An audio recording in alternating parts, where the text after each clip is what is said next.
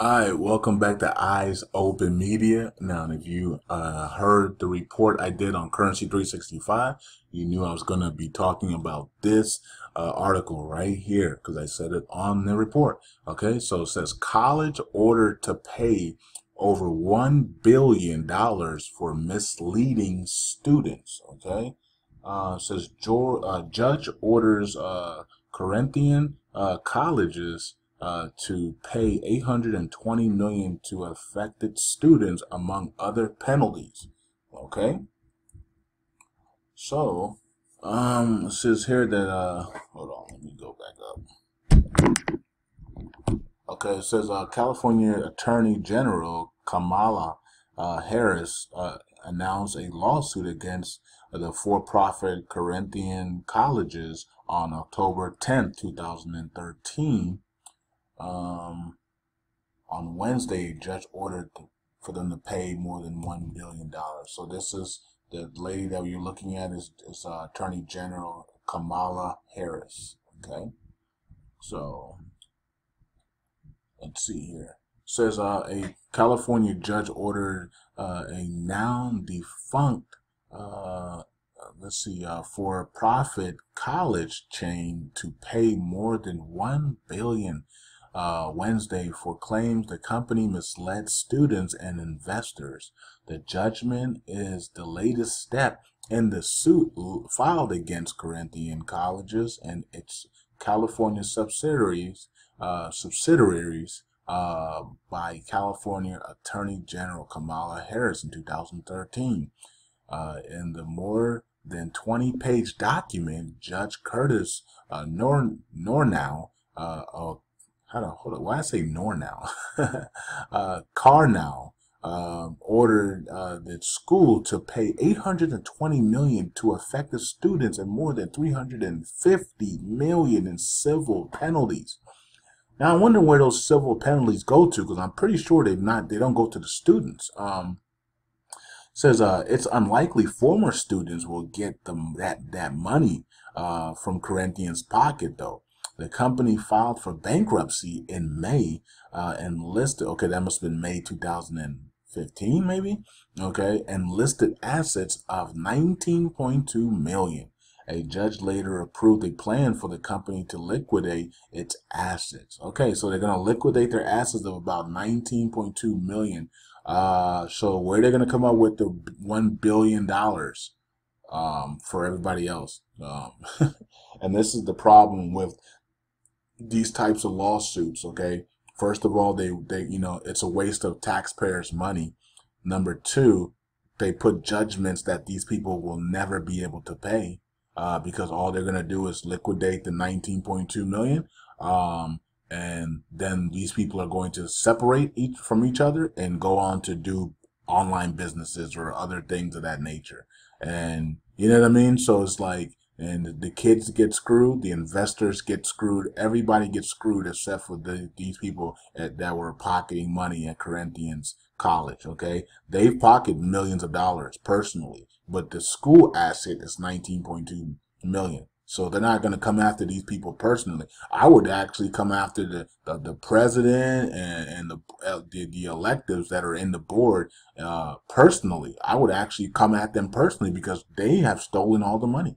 Okay, there's no way they uh, they they have all this money and but yet the school's only worth uh, has assets of 19.2 million. Okay, so uh, they pocketed all the rest of the money. So you need to look instead of looking for the school to to issue money to them, you, you need to look at the executives and the president of the school because that's where all the money is hiding. Okay. Um, Let's see here. It says, but the judgment could help students in another way, said Bill Miller, uh, a senior director uh, for post-secondary uh, education at the Center for American Progress, a left-leaning think tank. Uh, it could serve as evidence of Corinthians' wrongdoing for former students who are applying for a federal government, uh, applying to the federal government to have their loans forgiven because they believe the school violated state law. Oh, okay. So that is also a good thing. So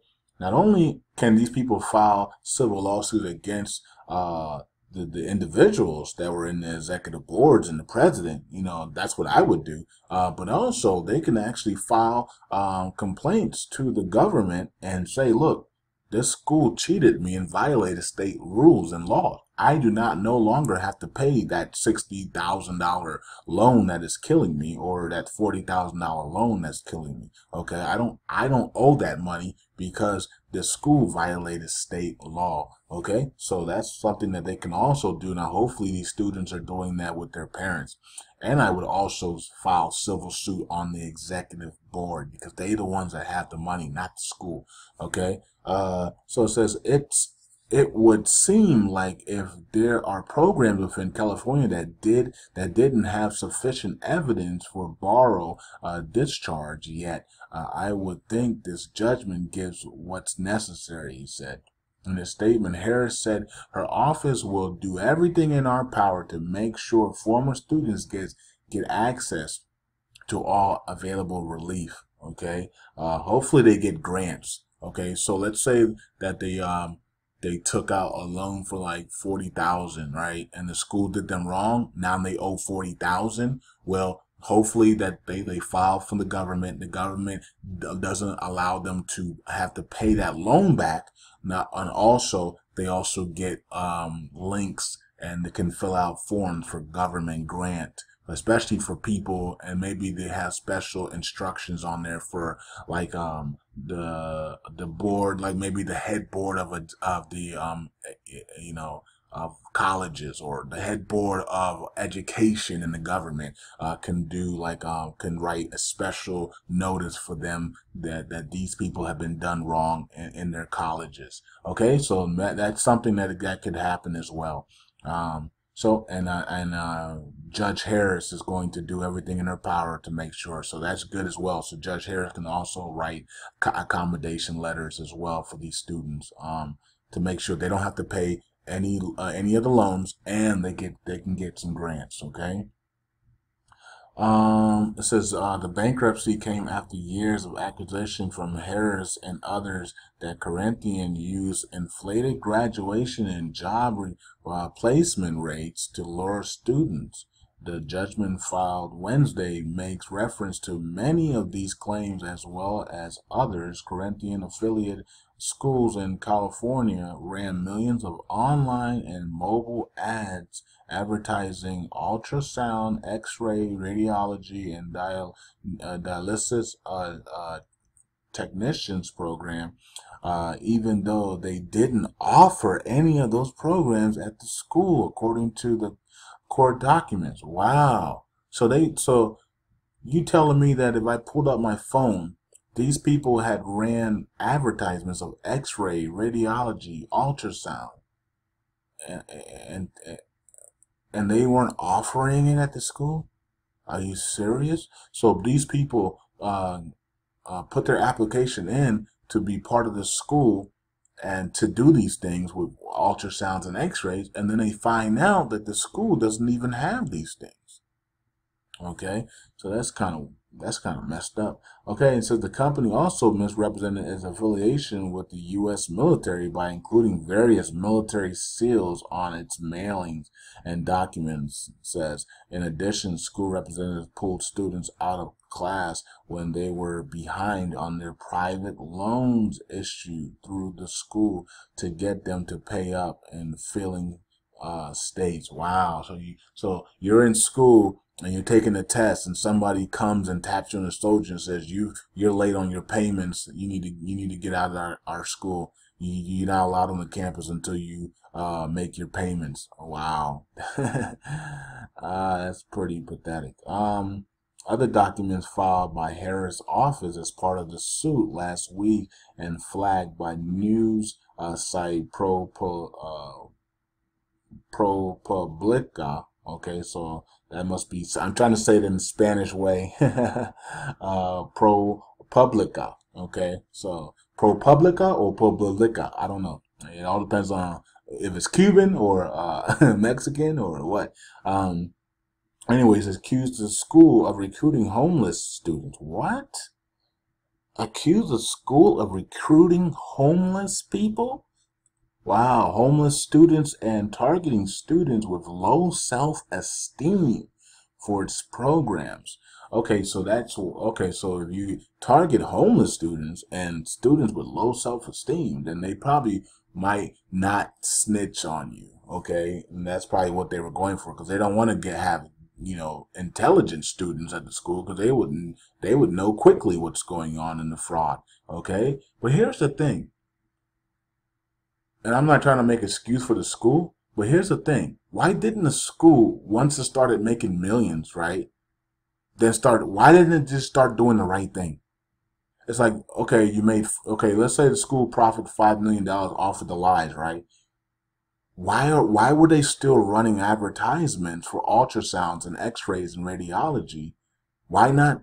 If you profit already five million, why not just now do a legit school business? Like, okay, we mess we, we mess with people already, but now let's you know put the right things on there. Let, us actually go after real students, not homeless people and so self esteem people with low self esteem. Let's actually go uh, after real people and give people actually an education.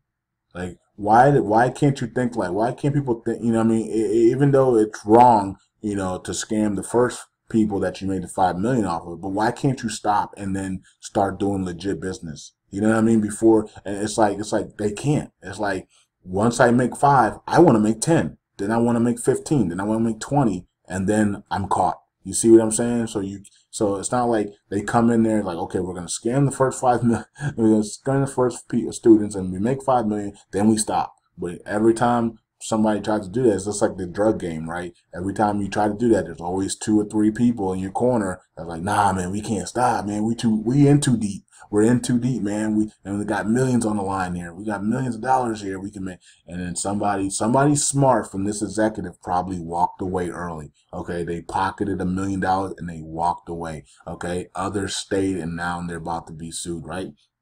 So um, it's just like the drug game, right? When one person's like, "Man, you know what? I'm done. I got my five million dollars. I'm done, bro." And then the rest of them say, "All right, whatever." And then they stay, and then they get 50 years in life, right? And then they try to, and then they try to snitch on the guy who walked away. You know what I mean? They try to. Most of the time, the guy who walks away early is the one who gets to stay, uh, keeps his freedom, right? Um, and you know, it is what it is. um, let's see here. It says the school collapse last year uh, drew attention uh, to the flight of students who took on debt to attend college based on misleading promises from their schools. The Department of Education expanded options for debt relief on certain groups of former Corinthian students last year. Now the department is in a midst of a rule-making process uh, to clarify when and how to forgive the loans of students who accuse their schools of violating state laws uh, when recruiting them. Okay.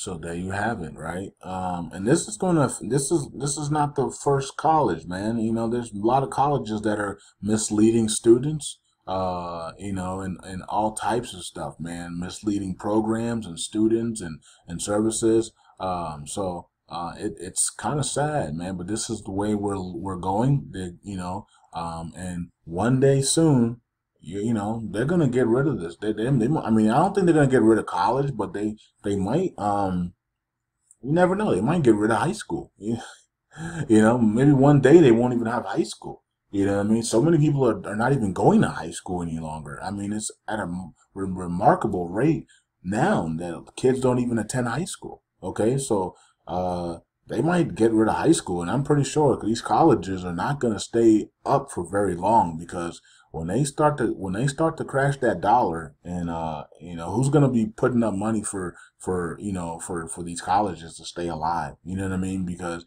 uh, people are not going to be working. People are going to be trying to survive right? So they're not going to even be thinking about college and the future of college and things of that nature. Uh, so colleges colleges are in big trouble and i think they know it and that's why they go to these type of lengths uh, to get students in their colleges and that's pretty sad and I hope all the students recover their money and um and and get free loans and grants okay um and uh, hopefully they get an education somewhere else and be successful students okay so that's it for me Eyes open. Peace out.